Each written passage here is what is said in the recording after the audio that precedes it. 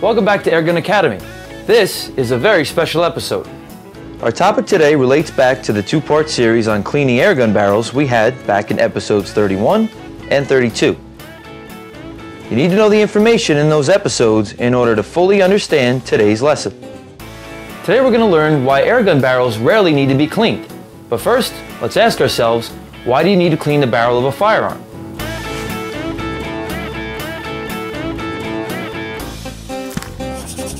In the 19th century, barrels had to be cleaned because the only gunpowder that existed was black powder. As much as 55% of the powder was unburned and became either smoke at the discharge or ash left inside the barrel. What was left in the gun attracted water and turned into sulfuric acid, which rusted and pitted the barrel in as little as 24 hours after firing. So, immediate cleaning was necessary, or the barrel would quickly be ruined. When smokeless powder came into use, there was still problems with the priming compounds that were corrosive and did pretty much the same thing as black powder. This is still a problem today with certain types of military ammunition, so cleaning the barrel of certain types of firearms soon after firing is still very important. Another problem with firearms is that their bullets leave deposits of lead or copper jacket material bonded to the steel of the barrel. If these deposits aren't removed, the accuracy of the firearm soon suffers. For all these reasons, barrel cleaning is an old and very important part of firearm maintenance. But remember, air guns are not firearms. They don't leave behind gunpowder residue, and for the most part, they don't suffer from lead deposits left by the pellets.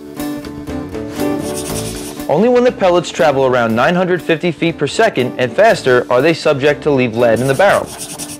For this reason, Airgun barrels don't have to be cleaned nearly as often as firearm barrels. In fact, many times they don't need cleaning at all. However, many shooters assume airguns need to be cleaned in the same way and for the same reasons as firearms. Let's do a little experiment. I have just cleaned this Air Venturi Bronco. Now, let me run a clean patch through it and see what comes out. As you can see, the patch is clean. Let's go outside. I'm going to shoot this rifle about five times.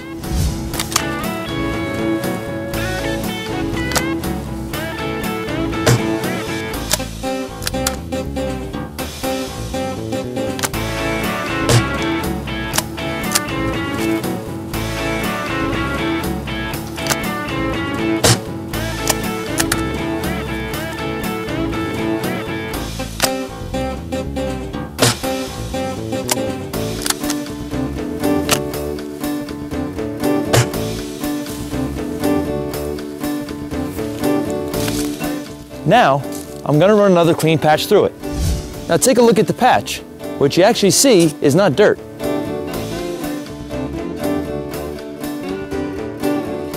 The black on the patch is actually the compound that the pellet manufacturer puts on the outside of each pellet to keep the lead from oxidizing. If they didn't coat the pellets with something, they would soon turn white because the exposed lead oxidizes.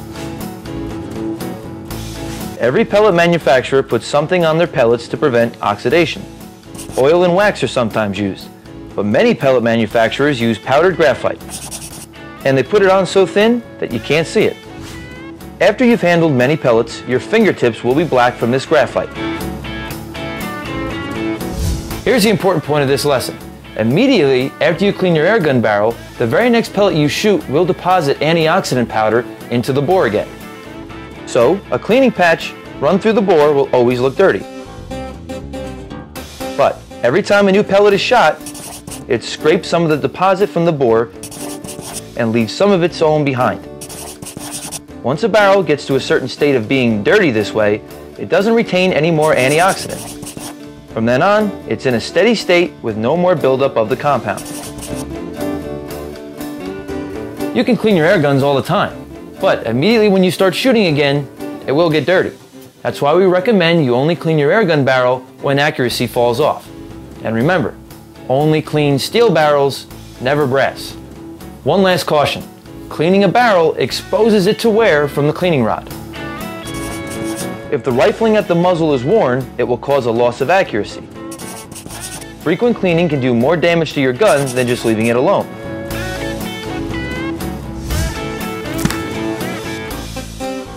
This lesson covered actual cleaning as opposed to cleaning theory, so some of the points I've made may have gone unnoticed. So let's review them.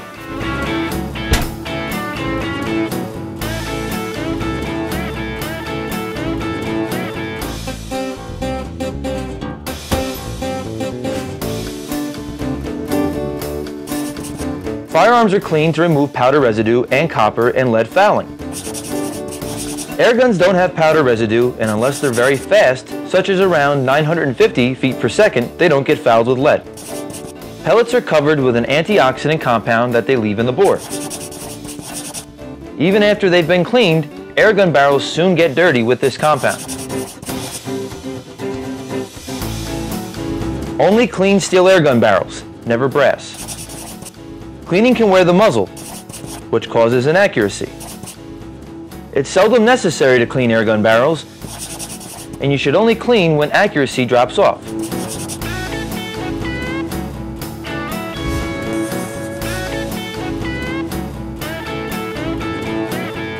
Keep on watching, and we'll help you find the right airgun for all your shooting needs. And be on the lookout for more great episodes that deal with different types of airguns for a variety of uses. Thanks for watching Airgun Academy. Stay tuned for another great lesson from Pyramyd AIR.